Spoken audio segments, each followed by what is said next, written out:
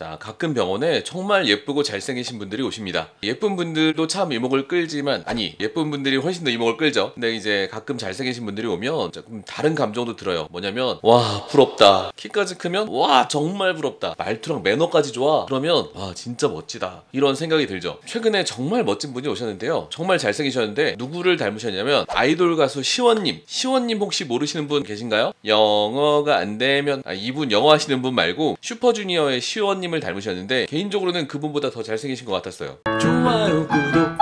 슈퍼주니어의 최시원 씨는 네이버 검색해보니까 182 며칠 전에 오셨던 분은 185 정도 되시고 근육? 근육도 장난 아니에요 막 슬림하면서도 등발이 막 와 운동 엄청 많이 하신 것 같더라고요 어깨가 막 이따만해요. 항공모함이에요 완전. 한마디로 남자들이 부러워하는 모든 외적인 요소를 다 가지고 계신 그런 분이었어요. 자 웃는 인상을 위해서 입술 입꼬리 필러를 하러 오셨었는데 뭐 남자분은 크게 필요한 부분이 아니라서 이제 필요 없다 이렇게 말씀드려서 그냥 가시긴 하셨어요. 자 그리고 오늘은 제가 진짜 너무 잘생기신 분을 봤어요. 아직 대학생이셨는데 와 눈이 진짜 강동원보다 더 잘생기신 거예요. 아 제가 볼 때. 강동원 팬분들 최시원님 팬분들 죄송해요. 제가 볼 때 눈이 평범한 눈이 아니라 만화에서 막 그려서 나온 막 그런 눈이더라고요. 이런 눈, 이런 눈이 세상에 있는 줄 아셨어요? 저는 오늘 알았네요. 이런 눈도 세상에 존재할 수가 있구나. 이분한테는 제가 어떤 일 하시냐고 여쭤봤는데 뭐 앞으로 로스쿨 준비해서 변호사 하고 싶다 이렇게 말씀하시더라고요. 지금은 아르바이트로 이제 간혹 모델 일도 하신다 이렇게 말씀하셨는데 지금 이분이 97년생이니까 음, 한 8년 후 정도에는 얼짱 변호사 모델 이런 걸로 TV 같은 데 나오지 않을까요? 자, 그분은 진짜 이 모델 일을 안 하면 진짜 국가적 손실일 것 같아요. 세계에 내놔도 되지 않을까 하는 생각도 들었어요. 우리나라에도 이런 얼짱이 있다. 최소한 아시아에는 먹힐 것 같아요. 말이 너무 샜는데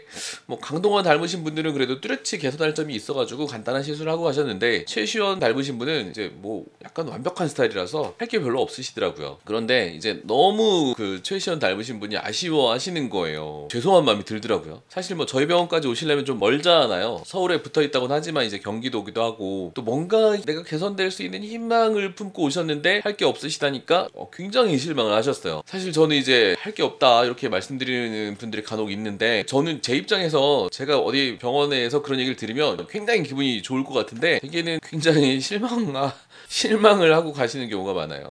자 사진 하나 띄웠어요. 이런 그래프를 이제 정규 분포 곡선이라고 하죠. 만약에 이제 왼쪽이 못생김 오른쪽이 잘생김의 그룹이라면 아까 말씀드린 분들은 이제 맨 끝단에 있는 이런 구역에 계신 분들이죠. 잘생김의 맨 끝부분 극한.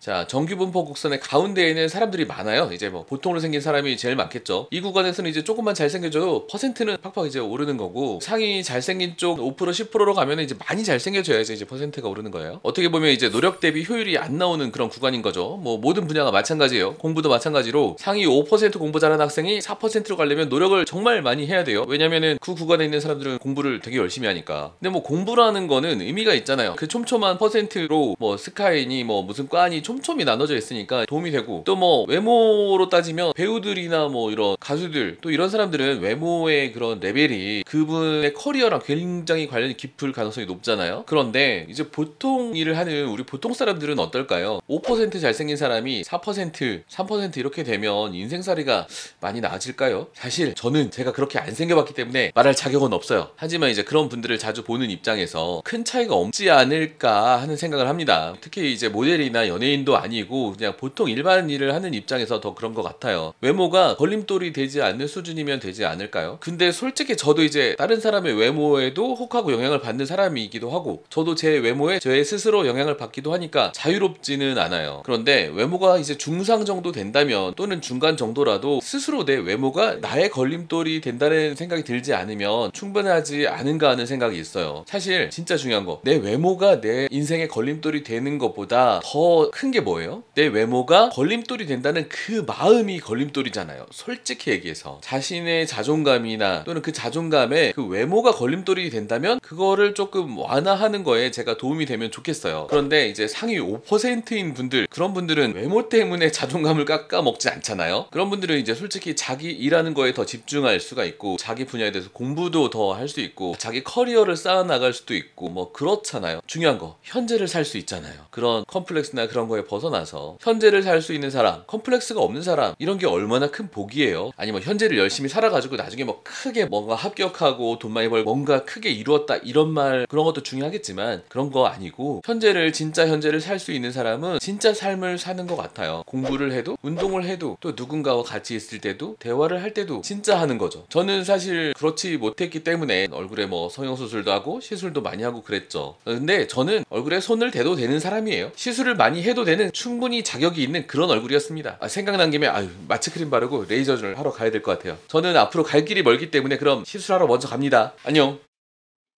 아차차차차 좋아요 구독 알림 설정 인스타까지 알죠?